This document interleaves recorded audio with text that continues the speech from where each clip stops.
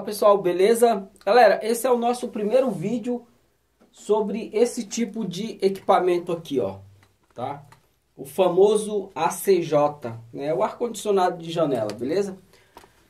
É, ao contrário do que muitos pensam, o ACJ, ele não caiu em desuso. Na verdade, se a gente for avaliar o split convencional, né? O split high wall, melhor dizendo, é, em relação ao ACJ, ainda tem uma briga grande, tá? Porque existem centenas, milhares de prédios que foram construídos e a infraestrutura civil foi deixada pensando em instalação de ACJ. Aquelas janelinhas, né?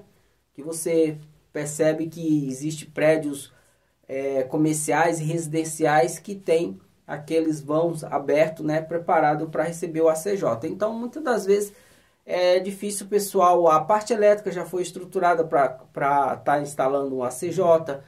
A parte civil, né, a alvenaria, que é aquele vão, então ainda existe bastante.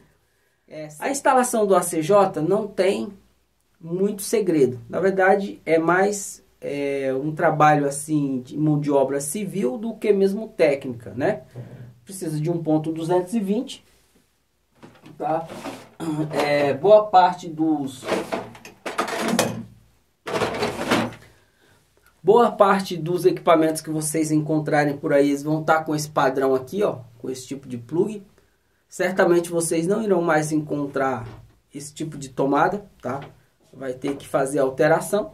Os de agora, né, provavelmente já não conheço todas as marcas, mas provavelmente já deve vir com um padrão nosso brasileiro, tá? Mas que vocês encontrarem aí acima de de 10 anos atrás aí, com certeza vai estar com esse tipo de plug, tá? E se já estiver fora da garantia e você for instalar ou fazer reparo, muito provavelmente vai ter que comprar um plug desse, ó, e fazer uma emenda, beleza? O ACJ, pessoal, ele é como se fosse uma geladeira, né? Na verdade, ele já vem pronto. Plugou na tomada, está funcionando, né? Como eu já falei, só fazer um buraco na parede, colocar o bicho lá, chumbar. Eu vou mostrar aí para vocês é, em uma obra, né, como que é chumbado. Ele vem com um suporte, tá? Não se chumba o equipamento, se chumba um suporte que vem com ele, tá? Primeiro se chumba o, o suporte na parede, depois de seco você vai lá engaveta ele lá, né, é, para retirar e aqui nas laterais tem uns parafusos que fixam. Mas enfim, esse é um Spring de 9.000 BTUs.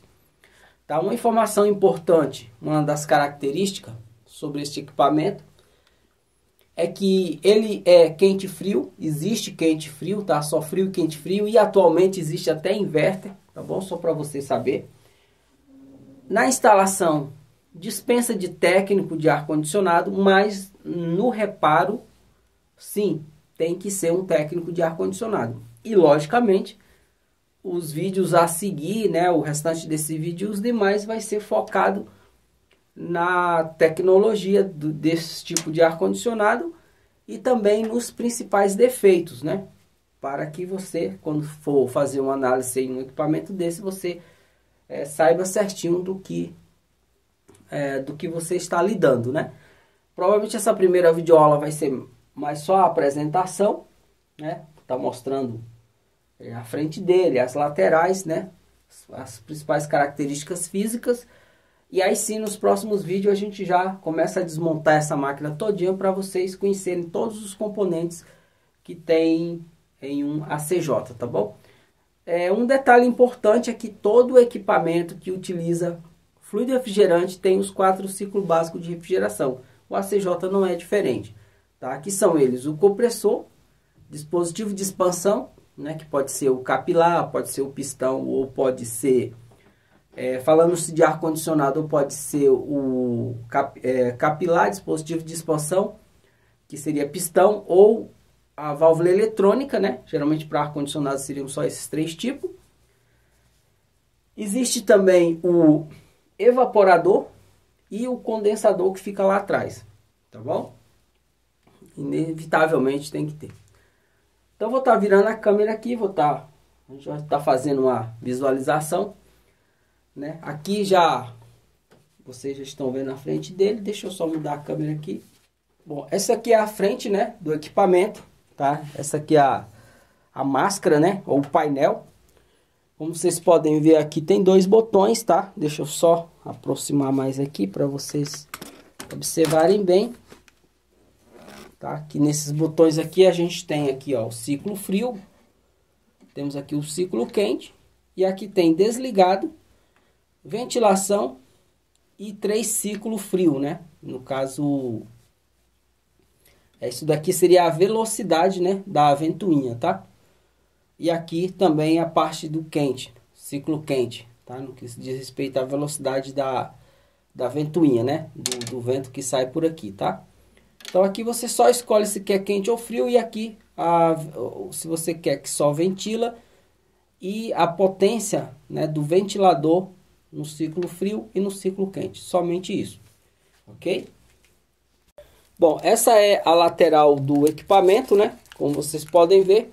Aqui tem um orifício, tá? Aqui tem uma... Essa parte que está aberta, mas é porque eu não tenho aqui o, a base dele, né? Na verdade seria o suporte, né? Uma caixa de metal. Como eu já disse, essa parte aqui ela deve ficar totalmente livre para ser removida para manutenção, tá? Sempre que necessário. Ó, galera, e ele tem um contramarco, tá vendo? Essa caixa é própria dele, tá? Cada qual tem a sua. E aí, você abre um vão na parede, né? Chumba, põe uns, uns parafusos, uns pregos nas laterais. E aí é só encaixar, tá? E depois fazer os arremates aqui, ó. Necessário. O que deve ser chumbado é a caixa que vem junto com ele. Aqui na frente a gente tem a serpentina do evaporador.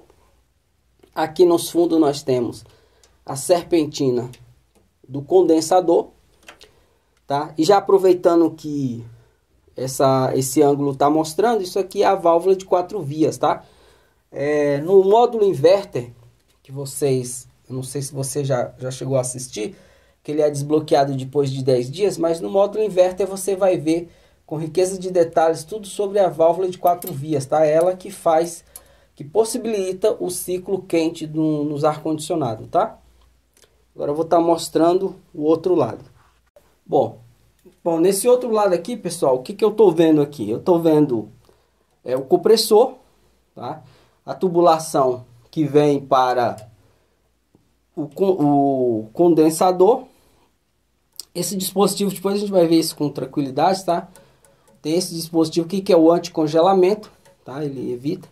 E aqui, ó, esse ciclo aqui, esse, aramezinho aqui, esse aqui é o capilar dele, ó. Depois vocês vão ver, esse aqui é só a apresentação mesmo, tá?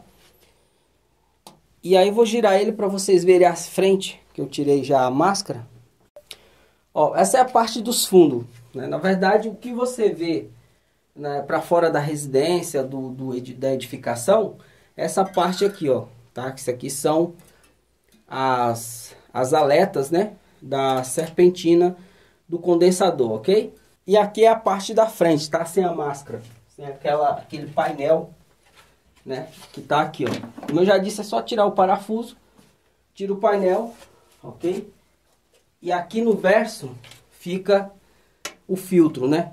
Que aliás tá sujinho, mas é de propósito porque faz parte do que eu preciso mostrar para vocês.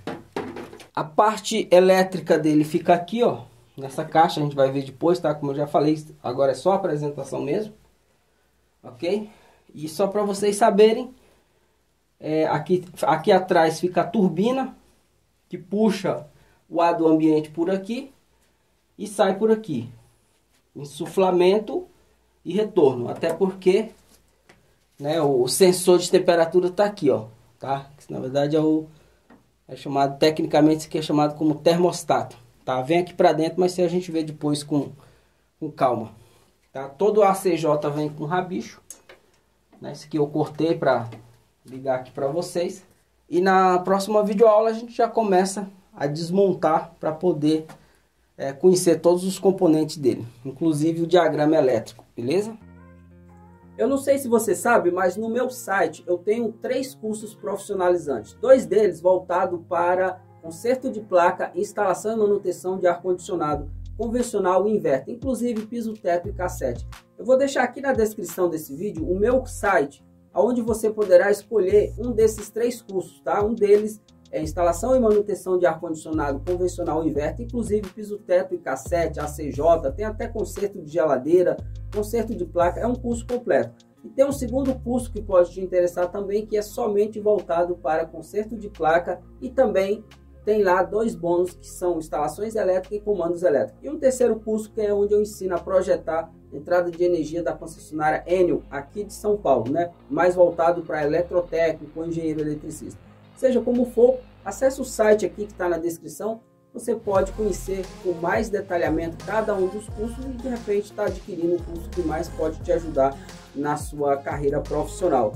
Seja você iniciante ou que já esteja trabalhando com ar-condicionado e refrigeração ou tenha interesse em aprender a projetar a entrada de energia da concessionária Enel aqui de São Paulo, tá bom? Clica no link aqui na descrição, clica no link que eu vou deixar em destaque no primeiro comentário e você faça a escolha conforme queira. Falou? Abraço!